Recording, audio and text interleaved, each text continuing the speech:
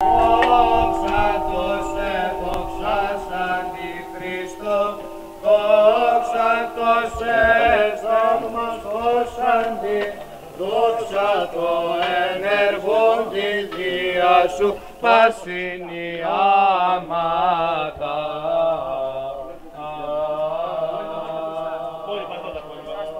Κάθε χρόνο κάνουμε τον τιμάμε με αυ- με αυτή την εκδήλωση. Έρχεται σχεδόν όλο το, το χωριό σύσσωμα, αλλά λόγω του κορονοϊού τώρα έχουμε δυσκολίες. Δύο χρόνια έχει αναγίνει. Ε, όχι, γίνεται κάθε χρόνο, αλλά υποτονικά, ας το πούμε. Φέτος ήταν λίγο πιο... Πιο ελεύθερα λίγο τα πράγματα. Ναι, ναι, ναι, ήμασταν πιο ελεύθεροι, με τη μάσκα βέβαια, αλλά τι να κάνουμε. 90 χρόνια έρχομαι στην Εκκλησία. 93 χρονών είμαι. Είμαστε σήμερα εδώ για να τιμήσουμε τον Επίσκοπο Ευθύμιο Ζήνιο Αγριτέλη, ο οποίος έπαιξε πολύ μεγάλο, σημαντικό και ουσιαστικό ρόλο στην, α, στην περίοδο της Μικρασιατικής καταστροφής. Ε, διατήρησε τη χριστιανοσύνη, τον πολιτισμό με, ό, ό- με όποιο τρόπο μπορούσε. Αυτό που έχουμε να κάνουμε εμείς είναι να τιμάμε τους προγόνους μας, γιατί εάν ξεχάσουμε και δεν τιμούμε τους προγόνους δεν θα έχουμε μέλλον. Αυτό είναι συνυφασμένο. Ήταν αδερφός του παππού μου του Ιωάννη Αγριτέλη.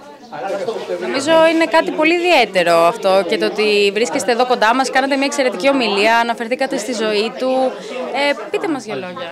Ε, Δεν είναι η πρώτη φορά που τιμούμε τον Άγιό μας. Από πολλά χρόνια τον τιμούμε. Πέρυσι που συμπληρώσαμε και τα 100 χρόνια είχαμε γράψει και ένα πολύ ωραίο βιβλιαράκι το οποίο αξίζει τον κόπο να το δείτε. Έχουμε μελετήσει πολύ τη ζωή του, γιατί δεν ξέρω, ξέρετε, το 1936 έγινε η πρωτομή του στη Μονή Λιμόνος και είχε έρθει και ο Μητροπολίτης Δαμασκηνός και είχε βγάλει ένα πολύ σπουδαίο ρόλο. Και οι πόντοι παντού τον μνημονεύουν και σε όλες τις γιορτές τους τον έχουν σαν αγιό τους, είναι, είναι ο δεσπότης τους. Ήταν από φτωχή οικογένεια, είχε πέντε αδέρφια, γεννήθηκε το 1876.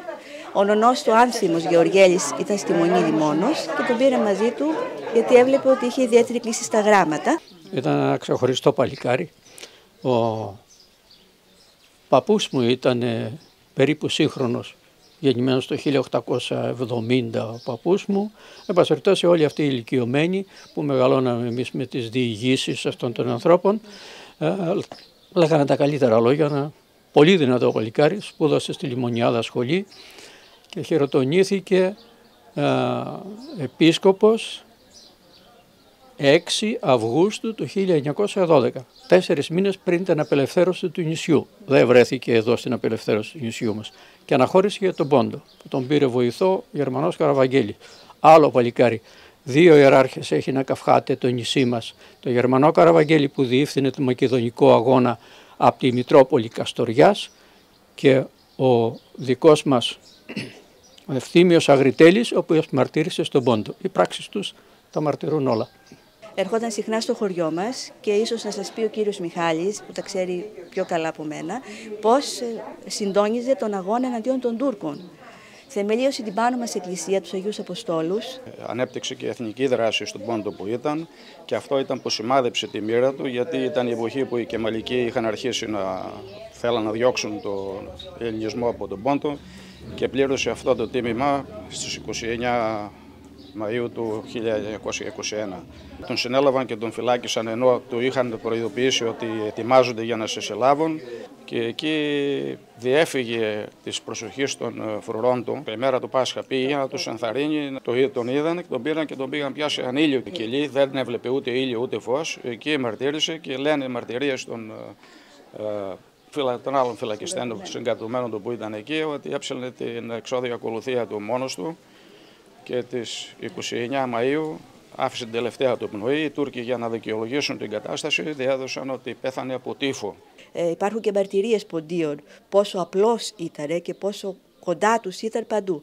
Ε, πίστευε ότι όταν ε, έκτιζε εκκλησίες και σχολεία πάλι ο ελληνισμός στον πόντο θα ξαναζωντάνευε και θα μπορούσαν να, ξεχ- να σταθούν στα πόδια τους και να μην φύγουν, να ξεχάσουν όλες τις κακουχίες. Ο σύλλογος μας εδώ και 25 χρόνια τιμά όλες τις γιορτές, τιμά βέβαια ιδιαίτερα τη μνήμη του Ευθυμίου Αγριτέλη, επισκόπου του Πόντου, για τους αγώνες που δώσανε όλος ο ιερός κλήρος α, της- στη Μικρά Ασία και στάθηκαν δίπλα σε όλους τους Μικρασιάτες. Βρισκόμαστε εδώ και πάλι φέτος για να τιμήσουμε τη μνήμη και για να αποτίσουμε ένα μικρό φόρο τιμής. Είμαστε με τον Αντιπρόεδρο, τον κύριο Πελέκο και καταθέτουμε βέβαια και στεφάνι. Φέτος ένας αιώνας που πέρασε, θα γίνουν ιδιαίτερες εκδηλώσεις, ε, θα γίνουν εκδηλώσεις ε, στην Ιερά Μητρόπολη Μυθύμνης, θα φτιάξουμε ένα μουσείο του μικρασιατικού πολιτισμού στην Καλονή και θα μεταδώσουμε βέβαια όλα τα, τις παραδόσεις, τα ήθη, τα έθιμα που φέρανε δεν μπόρεσαν να φέρουν τίποτα άλλο, τα φέρανε με την καρδιά τους οι πρόσφυγες, κανείς δεν μπόρεσε να, να τους κουρσέψει αυτά και εμείς θα τα μεταλαμπαδεύσουμε κάθε φορά στις επόμενες γενιές. Η τιμή μας σήμερα που τιμούμε τον Αγριτέλη, κάθε χωριό κρύβει και ένα ήρωα, έναν που έχει αφήσει το στίγμα του θυσίας του και εμείς σήμερα είμαστε εδώ να τιμήσουμε και πάλι τον Ευθύμιο Αγριτέλη άλλη μια φορά.